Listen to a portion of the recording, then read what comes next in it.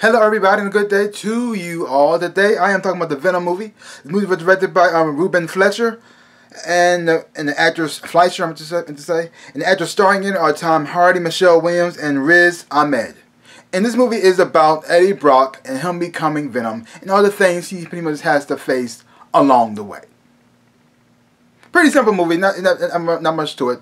And so before I get into the good stuff, I'm going to start off with the bad. Now, the bad part about this movie is Okay, you got Riz Ahmed's character. He plays Carlton Drake, and he's the bad guy of the film. And he doesn't he doesn't have any much depth to him. Yes, he wants to save um, humanity in a way, but he's just the bad guy. I mean, he he does he does. He, he willing to do anything and everything for his goal. He doesn't care who gets hurt, who, who dies in the process. He's just a bad guy. And, and, and as a character and as an actor, he didn't really have much to do in this movie. Not, not really much. And also you have Michelle Williams, who is the girlfriend, sort of, of Eddie Brock. Eddie Brock. And again, another character who they didn't really give that much to. She has some moments in this in this movie, but not enough to, to be like memorable or outstanding. I mean, you stand make her stand out anymore than that. So it, that's the case. See, the problem is with this movie is they focus everything on Eddie Brock and the Venom and the Venom creature and the symbiote everybody else, all the other actors in this picture aren't really that important. Not really that important at all. So without without Tom Hardy's performance, this movie would really suck. It would really, really without Tom Hardy's performance and, and the Venom character, it would really suck.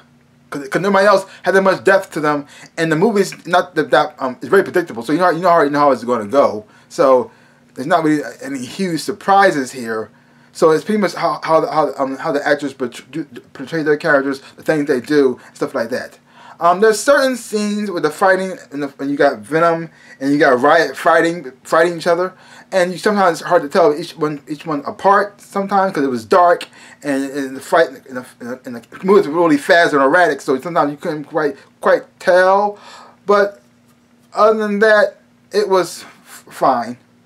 And I wish, and I, and I wish it was connected to Spider-Man because I, I, love that whole Venom, how Venom looks with that whole white spider emblem on his chest. Because everything about Venom is so connected to Spider-Man. How like how he looks, his powers, all connected to Spider-Man. But since Spider-Man's not really part of this, this is just like the symbiote without Spider-Man. And, and, they, and they did the best they could with the take with, with what they had. It was it was fine. So let's move on to the good stuff. The good part is you have Tom Hardy. His performance is great and I like him. I like him as, even though he's not portrayed exactly how he is in the comic books. Because Eddie Brock in the comic books is a butt, you don't really like him from the start. And he and the reason why he got kicked out of um, fired from the paper because he he lied. He lied. He made up he made up a story, and then um, then when James Jones did put it out there, and he found out it was a lie, he had to retract, which, which hates, which messed up his reputation. So he he fired Eddie and that pretty much ruins his reputation out there because he's a liar now. He's a liar. You can't, you can't trust anything he says. You can't trust his story. So it kind of ruined him. And then he went through a depression and he wanted to kill himself.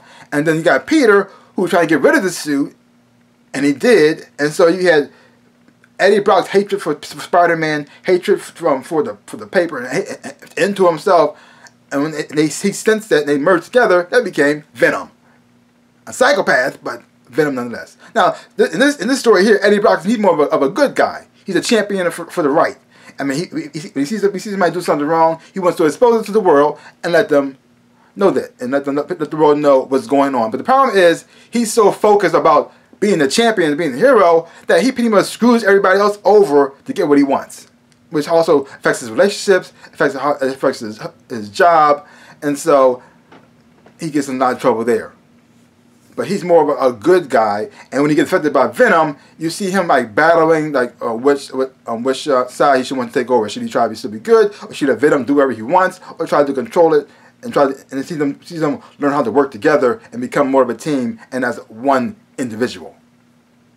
But, but, but since, the thing is though, Tom Hardy is the only person that you really focus on the much the most in, in this movie. So he's the only one who he, he, he pretty much got the most development than everybody else. So he pretty much is carrying this movie. And so every scene with with Tom Hardy is great, and when he's and when he's Venom, is fantastic because because the, the, whole they got the they got even though it's not completely Venom from the comic books, The look is he got the, they got the look of Venom. They got the, the action scenes, the, the, way he fights is very vicious and ferocious, ferocious and, and, and, like like an animal, but it's controlled too. You feel you feel his power and his strength when he comes at it. So, so every time you see Venom, you're like this, oh yes, yes. But other than that, everybody else is just like, eh, it's all it's all right.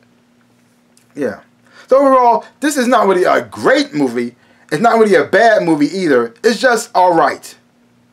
Because like I said before, if, if, if Tom Hardy's performance wasn't that great, and they didn't get Venom right as a character, this movie would suck.